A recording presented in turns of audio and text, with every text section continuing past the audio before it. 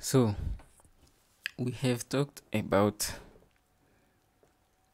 Stephen Bourne, which was the man who invented the shell.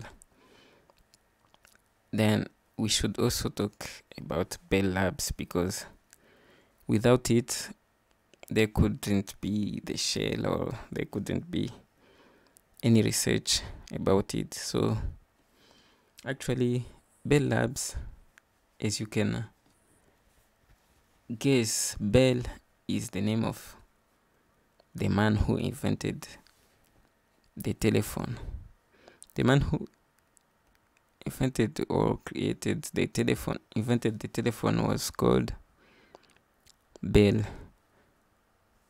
And uh, he was called Graham Bell, and he created a company called Bell's Bell System.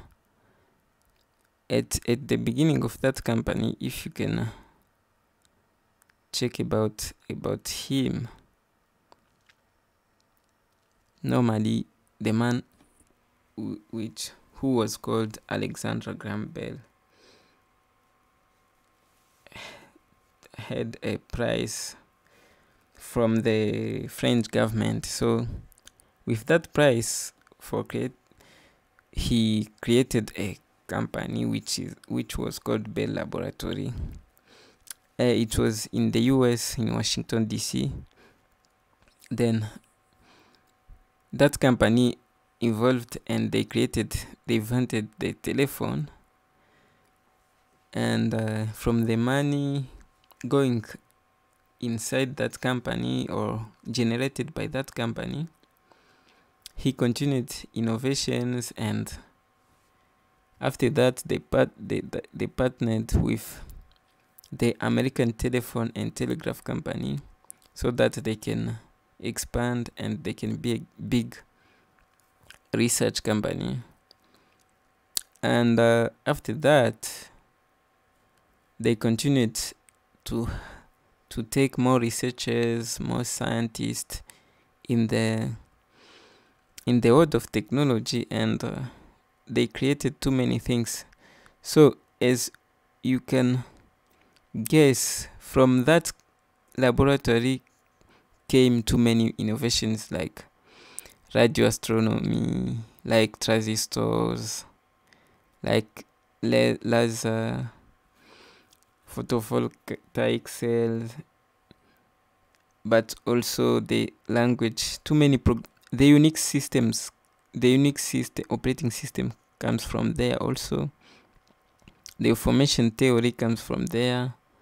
The language programming language b programming language c programming language c++ pro- programming language s SNOBOL awk im too many innovations come from there and uh,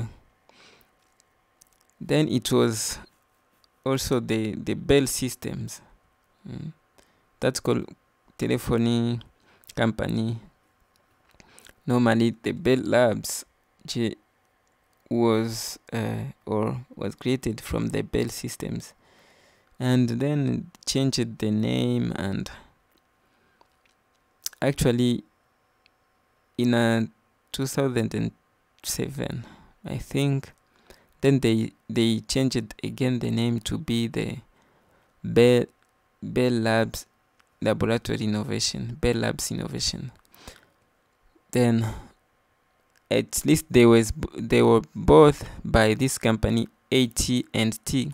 This is American Telephony and Telegraph Company which uh, was the owner of the the Bell Labs.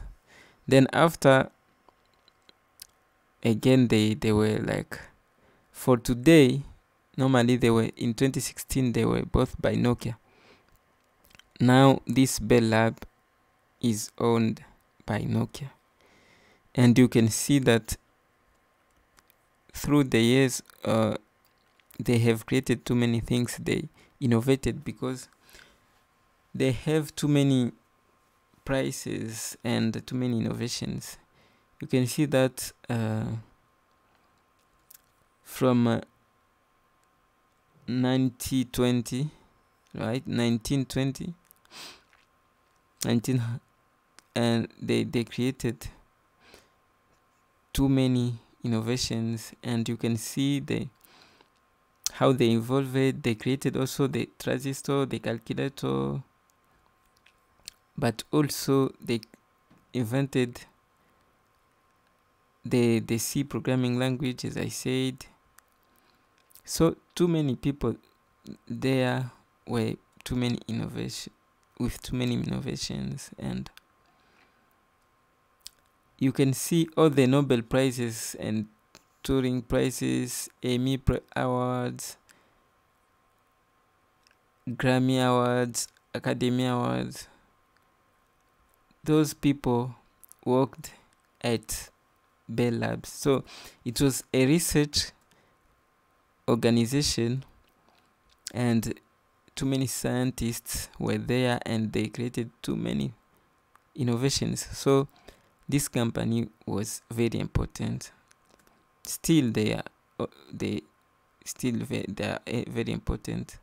So you can see people popular like like brian Kernighan the other like Thompson, the man Ritchie, Dennis Ritchie, who created the C programming language, and also who created the unit, the Unix operating system.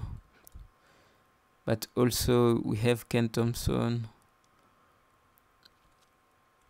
and uh, too many others, which I can't, yeah, mention everyone. So I think if you want to know more about them, so you can go and check out and see and read about them, and you will be amazed about how many people come from this organization and how many like prices they have and uh, also how many innovations they have.